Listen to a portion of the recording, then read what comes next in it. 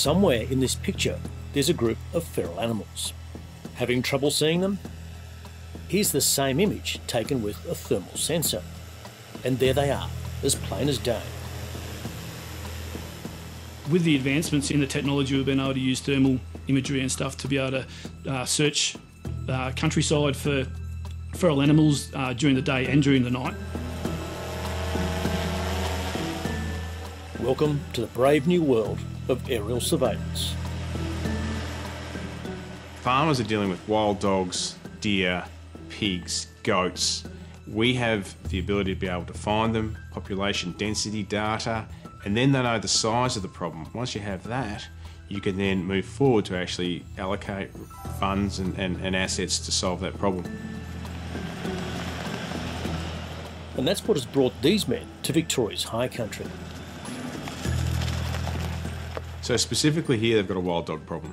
It's been growing for many years, and just recently there's been quite a lot of attacks, and they're about to start lambing. Right. So the team sets up in daylight and waits for darkness to descend. When it comes to feral animal control, really it's the animals that hold nearly all of the cards. They're normally shy and elusive, fast, nocturnal, and they have plenty of places to hide. In fact, till now, we've only had a really vague idea of what's out there and in what numbers.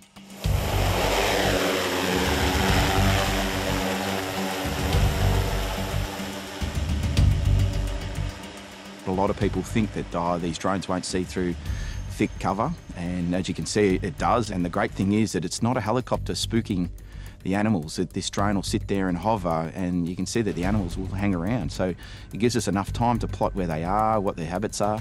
Uh, it, it really gives us a lot of information that we haven't got before. Here's a case in point.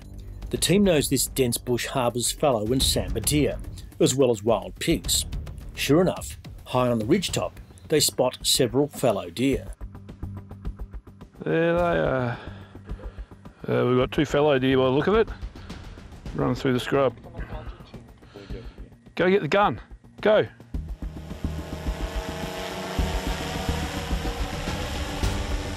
So how far are we talking?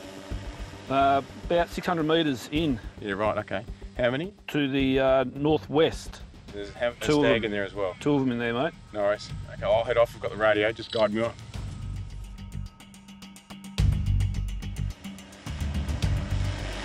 The drone operator can see both the hunter and the target and can direct Michael via radio to where he might get a clean shot.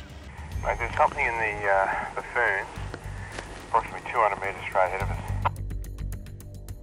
But not this time. Deer are notoriously elusive and they flee to safety. The men around this drone also had a near miss. He's just uh, scanning now.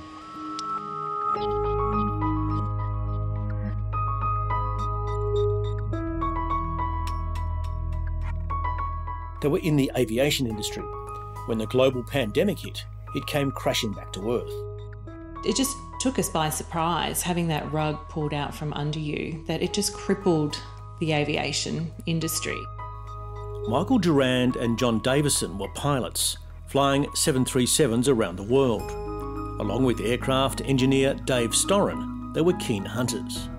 Several years ago, while using drones in the outback, they saw the possibilities of business.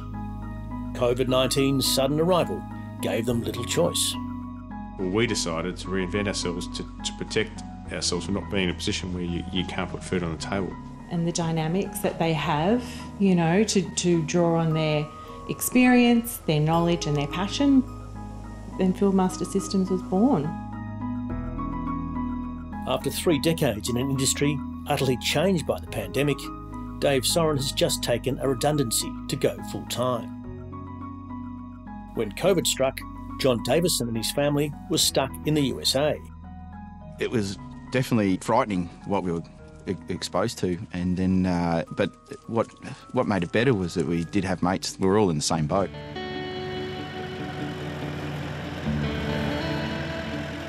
After release from hotel quarantine in April 2020, John resorted to a skill he'd learnt over the years farm fencing.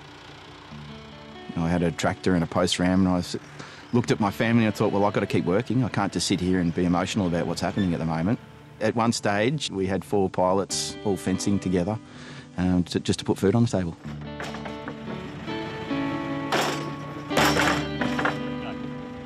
On a fencing job, John met Alan Finlay, a former agribusiness executive. After three decades in food processing and manufacturing, Alan was looking for a new challenge. We sort of complement each other. We've got an aircraft engineer, pilots, and then we've also got Alan, who's uh, part of the corporate world. And that's really what we were lacking as well, was starting up a business.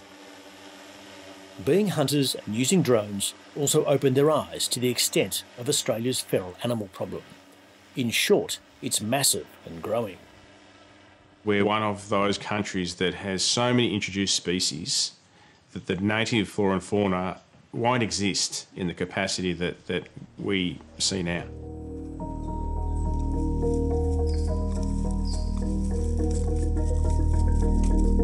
Feral pigs, estimated to annually cost millions in livestock losses and ecological damage, continue to infest new areas.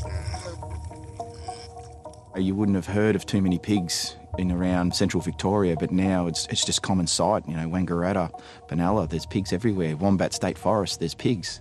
So it's, it's coming down and it's going to get worse. They don't stop. They're just going to keep coming down closer to Melbourne. These feral pigs in southern New South Wales, caught gorging on sheep fodder, were able to be humanely dispatched by shooting. Feral deer are expanding their range at an even faster rate than pigs. Deer can be difficult to control. They're fairly elusive, they're generally active at night time, and they readily cross property boundaries. They impact agriculture, the environment, and our road safety. They also pose a biosecurity risk for livestock because they can transmit diseases.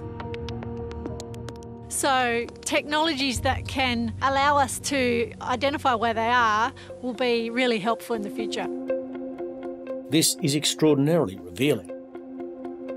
The game trails, oh, they, they stand out like predominantly from the air. You can see where, the, where they're going in and out. We can also detect them a lot easier over a, a, vaster area to hone in on actually where they are.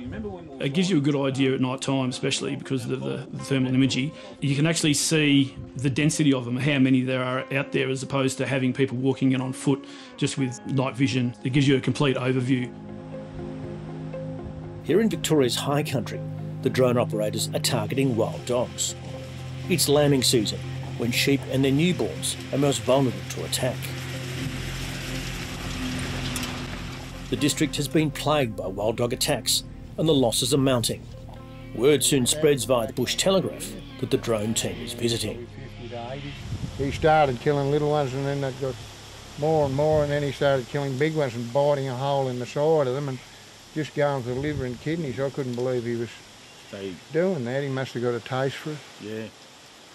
We know that our capabilities with the drones and our hunting experience is an asset it's about also educating the, the farmers or government agencies just how good the capabilities are now. The team heads to sheep country, bordered by forest. It's steep with plenty of cover. A wild dog can travel quickly over an immense distance. Notoriously cunning, they can tear a sheep flock to pieces. So Peter, tell us what's happened to this the sheep. Uh, it's been it's been grabbed by the throat and pulled down. Yeah. So a wild dog a few weeks ago has yep. got this? Yeah, yeah. And it, how many have you lost this season? About 20, yeah, yeah. Pretty traumatic. Oh, yeah, yeah, yeah. I've seen a lot of dead animals, but this is this is this is as bad as it gets, yeah. And um, we've seen that drone technology. It's uh, what do you make of it? It's, it's pretty uh, enlightening, isn't it? What what, you, what it reveals. It's, it's, a new thing, isn't it? You know, like it's it's a it's a game changer, isn't it? Yeah.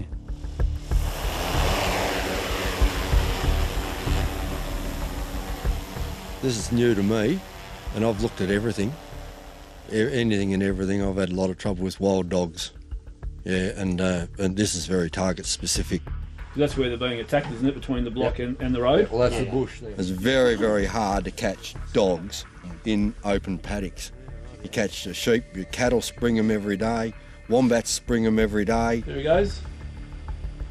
The drone reveals kangaroos, wombats, and a fox, but no wild dogs. The drizzling rain gets heavier, too wet for the drone, and by 8 the team pulls out. But the locals, now aware of its capabilities, are highly impressed.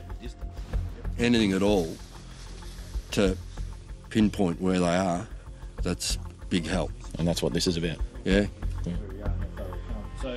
Frustratingly, the team missed its target by a whisker.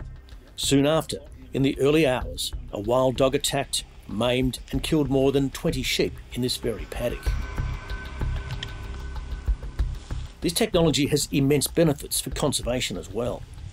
There's also the native flora and fauna that are being marauded effectively and their environment's being destroyed. So it's not just about taking out the ferals from the environment, but it's also trying to provide uh, a, a protection blanket effectively. The pilots have gained a raft of further qualifications and licences to operate this technology. The company has already won contracts with government agencies such as national parks. It's also done agricultural work and aims to do more with this drone.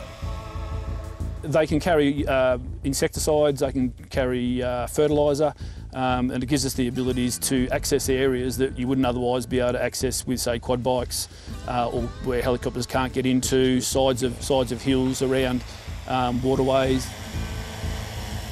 Weeds will be one of the obvious uses. So you think blackberries in, you know, hard to reach ravines. So if you if you're local council or a farmer trying to manage your land, uh, particularly when you're around sensitive waterways and things like that, so you, can really be targeted without doing that uh, high overspraying or you know where you can't get your, your, your, your vehicles in or your ATVs. The men believe contractors using drones will soon be commonplace such as using them to count buds to calculate fruit yield or to assess yields in crops before harvest. It's a big, big advantage in agriculture, whether it be for spraying, whether it be for um, crop inspections, or whether it be for uh, feral animal locations and eradication. I think drones are definitely going to play a big part. The technology's here now. It's in within that cost base where people can afford to do it. And I think it's now time we take that on and give it a go.